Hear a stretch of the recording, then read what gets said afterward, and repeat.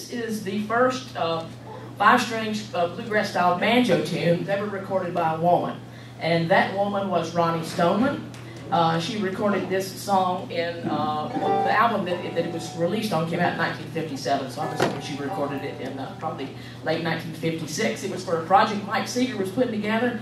It was called American Banjo three finger and Scruggs style. So we'll pick this. It's called Lonesome Road Blues, and I'll tell you uh, what Mike told me that was behind the recording of this. All right, ready, Case? I'll be Roni.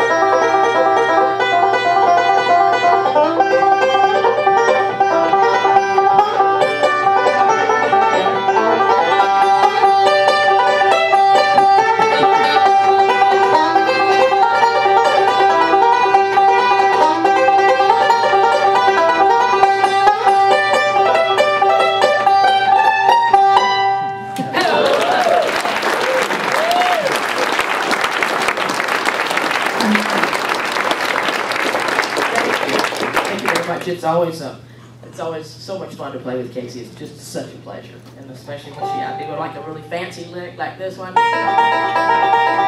know, which I worked really hard to learn off the Earl Scruggs. So I do that, and Casey takes it, makes it even fancier. Way to upstage your mom.